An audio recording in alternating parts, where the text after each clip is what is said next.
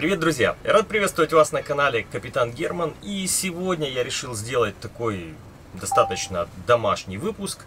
Как вы знаете, э, сейчас мы находимся на карантине, и общение с друзьями возможно только посредством компьютера. И мы решили выяснить, что же сейчас происходит с э, жизнью яхтиной, с верфями. И для этого мы пообщаемся с нашим другом Сашей Гороном, который представитель является владельцем компании Интерпарус, представителем французских верфей во Франции, в Ля-Рошеле, если я не ошибаюсь. Вот, э, верфи такие, как э, Бали, Фонтейн, Гарсия, Дифур. Ну, то есть это основные бренды, которые представлены его компанией. Ну, давайте спросим, на самом деле, сделаем такой небольшую онлайн-трансляцию и узнаем, что же происходит сейчас во Франции и какие вообще перспективы у этого рынка и вообще выживет ли этот рынок, потому что, ну, вы знаете, сейчас все происходит достаточно проблематично. Ну что, поехали. Ну а пока мы ждем Сашу, когда он появится в онлайн, можно посидеть, побрынкать на гитаре, что-нибудь набрынкать. Я, кстати, это, знаю все аккорды, но не знаю ни одной песни, поэтому буду играть, что умею.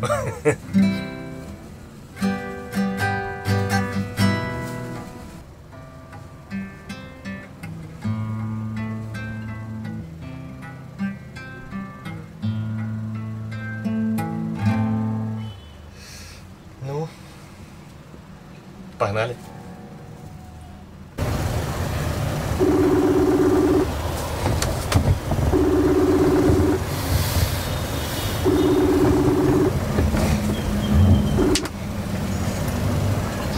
Рухайте на звук, да? Давай. Алло, О, привет! Серега, слышу, вижу. Слышу, вижу тебя тоже. У меня Ап, такая конструкция. Привет. здорово. Сейчас, сейчас, Сереженька. Так. О, все, у меня тут самое, да, тихое место это улица. Ничего себе. Ну, у вас сейчас уже сезон начнется скоро, будет нормально. Да ну дай бог, чтобы он еще ж начался у нас во всем остальном. Ну, давай расскажи мне, пожалуйста, а, о всех тайнах, которые сейчас есть. Короче, смотри, есть у меня к тебе масса вопросов. Что у вас происходит Давай, вообще в яхтенной индустрии и то, что я смотрю, сейчас какое-то вообще мракобесие происходит. Ну вот, в общем, что сейчас вот в разрезе яхтинга у вас произошло? Слушай, ну да, ситуация, в которую вообще никто никогда не попадал в современной истории. Э, ну смотри, с середины марта э, на верфях остановили производство. Мы говорим о французских верфях прежде всего. То есть все Дюфор, э, Бенету, Лагун, э, Фонтен Пажо э, были остановлены производства. Э, На немецких верфях, голландских, шведских как бы э, производство продолжалось, хотя вот ну так сниженными темпами. Э, также были, собственно говоря, остановлены все придворные компании, которые занимаются предпродажкой, сборкой, тюнингом, доработкой. э, То есть вот как бы вымерло все. Э, Но в то же время как бы офисы продолжали работать и как бы автосейл сервис, поддержку, всю как бы из домашних компьютеров э, нам оказывали. Э, Понимаешь, то есть, э, ну, как бы нельзя сказать, что все, вообще все, все, все, все как бы вот так вот умерло и, мол, все, все плохо, все умрем. Э, Дюфор продолжил отгружать лодки только автомобильным транспортом, то есть, э, вот, то есть Дюфор э, отгружает автомобильным транспортом, потому что перевозки не запрещены. Фонтен тоже как бы недавно этого не делали, но тоже вот представь эти огромные катамараны тоже ав- отправились негабаритными тралами вот там на юг Франции. Вот, то есть вот как бы такая ситуация именно была э, с середины марта. Что на данный момент? Э, неделю назад Фонтен Пажо вывел 70 человек на работу на трех площадках и 35 на одной верфи, 30 на другой и 5 на предпродажную подготовку. То есть они в первую очередь начали готовить э, лодки, которые э, уже почти готовы. Это добровольцы были, молодые, красивые. А вот, э, вывел их на работу. А Дюфор начал то же самое вот на этой неделе, чуть позже на этой неделе. Дюфор, он как бы побольше размером. А, вот. И в итоге, значит, к 10 мая Фонтен хочет выйти на 40% работы и потом как бы а, выйти на все 100% а, мощностей. Вот. Самая большая проблема на самом деле была связана с тем, что США объявили локдаун и в итоге, э, а это 50% вообще продаж для всех верфей, для абсолютно всех французских верфей. И вот это огромное количество лодок катамаранов, оно просто мешало, то есть это они заполнили все площадки, э, нанимали в коммерческом порту площадки, свозили туда, свозили, свозили, потому что вот, э, э, то есть они произвели эти лодки, они оплаченные, а их штаты не принимают. Вот это была самая большая проблема, куда девать вот 50% этих лодок, по сути. Фонтен делает в год 300 лодок, то 300 катамаранов, то речь идет где-то, вот застряло у них порядка, наверное, 60 катамаранов, это вот на мой взгляд. Ну, это огромные площади, представляешь, да? Э, а с Дюфором это, наверное, порядка там 100-150 лодок, вот, которые уже вот в обычное время должны были уйти, понимаешь? То есть к обычным э, складским запасам добавилось еще вот такое количество. Ну и то же самое, я думаю, и на Бенету было, и на других верфях. То есть вот это очень сильно как бы создало такой как бы логистический коллапс вот, э, в этом всем. А что со сроками поставок вообще лодок, вот тех, которые вот в данный момент, из-за того, что верфи, они же работают не в полной мощности? Значно, что сроки сдвинулись, особенно ближайших э, поставок, да.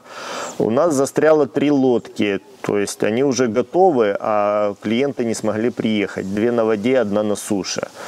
Э, то есть э, Сроки сдвинулись, но в принципе не особо критично, потому что на это время выходило так очень много выходных. Видишь, видимо, это с этим связано. Летние сроки объявили, что где-то на 2-3 недели сдвигаются. Но опять же, как бы не, не критично. А сроки осенние и следующий год остались пока без движения. То есть э, вроде бы все пока нормально по вот срокам. Скажи, пожалуйста, а много ли э, отказных вообще лодок, ну, в связи с вот этим вот всем? То есть понятно, что у людей там куча планов, там все там э, не очень хорошо себя чувствуют. Вот э, много ли отказных лодок на верфях на данный момент? Э, слушай, да, мне тоже много звонков, очень много пишут об этом в комментах. На данный момент нету массовых отказов, да, то есть самые крупные покупатели – это э, чартерные компании. А они вот, ну, может, ты знаешь, они вот в феврале уже забирают все свои флоты, они полностью оплачены, и они вот в феврале, в начале марта как бы свалили все на Средиземку, либо э, этими паромами куда дальше. А, поэтому нету какой-то такой, знаешь, массового какого-то э, отказа, понимаешь? Поэтому э, паники как таковой нету. То есть, видишь, в индустрии настоящие моряки работают, они не, не, не паникуют. Э, мы держим как бы руку на пульсе, тоже как бы нам интересно выхватывать для своих клиентов такие лодки.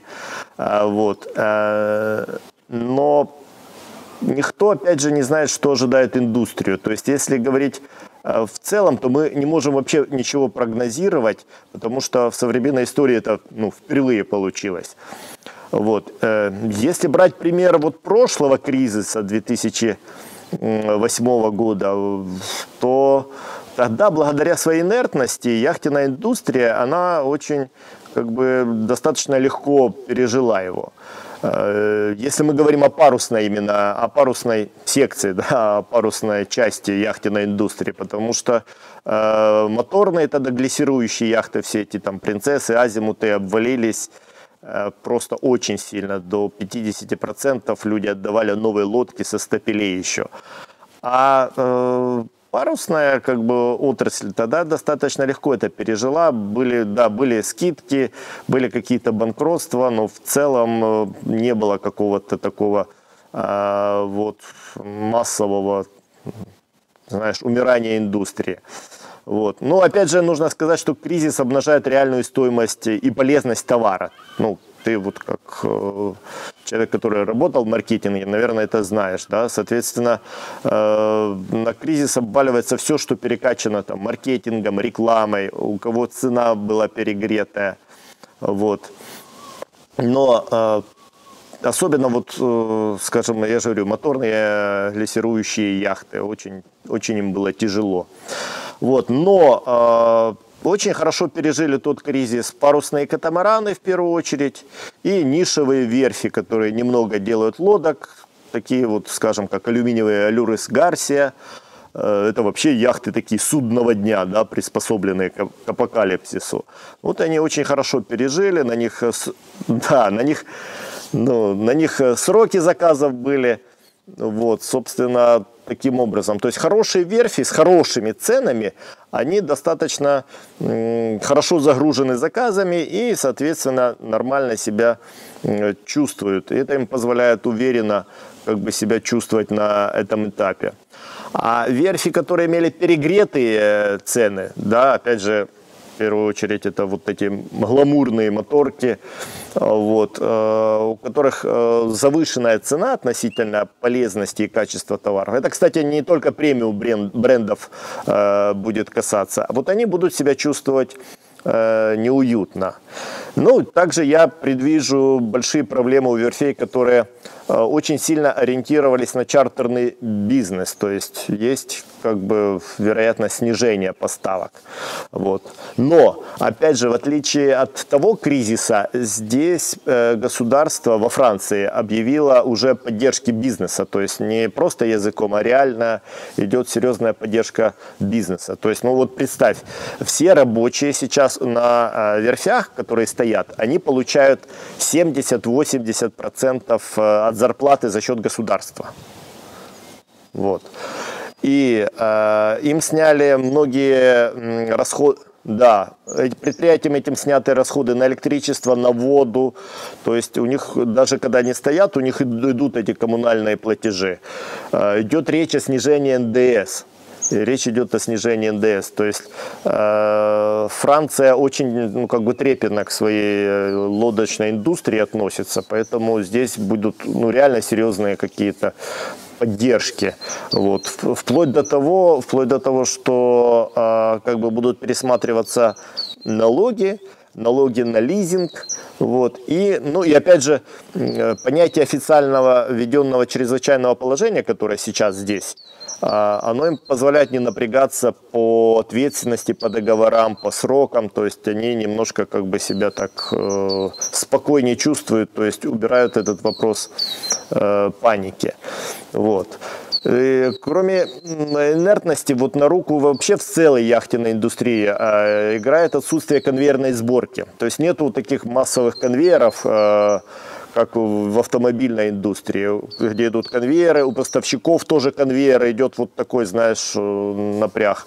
Здесь верфи, э, ну, ты ж видел, как они делаются, лодки, да, они могут демасштабироваться, то есть матрицу отставили в сторону, убрали там количество людей, ну и все, уменьшили э, продажи, а маржа за счет там более дешевой нефти, если она продержится, маржа может вырасти. То есть у них есть э, вариант для вот такого финансового э, маневра. Но я не смотрю на все в розовых очках, как бы я повторю, что мы не, не знаем, чего ожидать вообще от развития этой ситуации. Это впервые. Вот. Ну, я я думаю, что какие-то верфи будут иметь сладкие предложения, какие-то скидки будут, но это будет недолго, потому что они потом могут просто уменьшить производство. Вот. Мы держим руку на пульсе, поэтому но для того, чтобы воспользоваться этими предложениями скидочными, ну, нужно иметь решительность к покупке вот, и принимать быстрое решение. Какие прогнозы у чартерных компаний? Вообще, что с чартерным сезоном? Есть ли какие-то, ну, хорошие перспективы или это, умерла так умерла? Смотри, а, то, что мы отслеживаем, что а, частные передвижения есть шанс, что откроют уже в конце мая, в начале июня. А, по туристическим направлениям очень сильно как бы будут э, ранжироваться, насколько как бы большие группы будут там заезжать, перевозиться. То есть по э, частным э, поездкам, я думаю, что может быть, если, даст Бог, все будет вот так, как сейчас, та тенденция, то, э, скорее всего, э, это будет э, начало июня и откроются границы. Пожалуйста, а что у вас в Интерпарусе происходит? Потому что, ну, все же от этого всего страдают. Что, что у вас и что делали именно вы для того, чтобы в этом кризисе как-то себя чувствовать покомфортнее? Слушай, ну да, мы уже как бы понесли первые потери. У нас э, должны были быть э, группы в парусной школе на март, на апрель в Ля-Рошеле здесь, ну, соответственно, слетели. Слетели майские, июньские чартеры, те, которые через нас заказали.